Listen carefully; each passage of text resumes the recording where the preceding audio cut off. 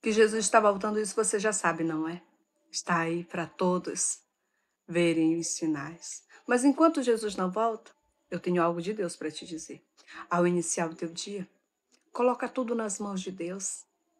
Mas não coloca de qualquer jeito, não. Ora ao Senhor. Dá aquele primeiro momento, aquelas primeiras horas, a tua prioridade, aquilo que vem primeiro na tua vida. Dá para Deus, coloca nas mãos dele, ora a ele, apresenta a tua vida a ele todo o teu dia. E tenha certeza que tudo te irá bem, porque o Senhor é o Deus que tem que ser a tua prioridade. Lembre-se, você sem Deus não é nada. Deus sem você, ele continua sendo Deus. Não é o Senhor que precisa de nós, somos nós que necessitamos dele. Faça ele na tua vida ser a prioridade e você verá a transformação, o milagre e o poder do Senhor sobre a tua vida. Pense nisso.